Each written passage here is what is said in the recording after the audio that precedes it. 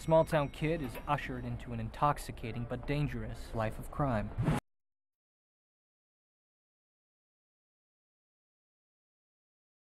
Let's go, bud. Eggs up. Sorry, sorry, sorry, sorry.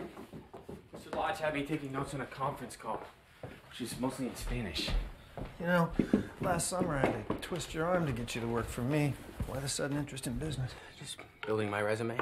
Yeah? What kind of stuff's he got you doing besides uh, transcribing phone calls? Running around, standard lackey stuff. Why do you ask? I don't know, it's just a coincidence. Here we are, both in business with the Lodges. One by necessity, one by choice.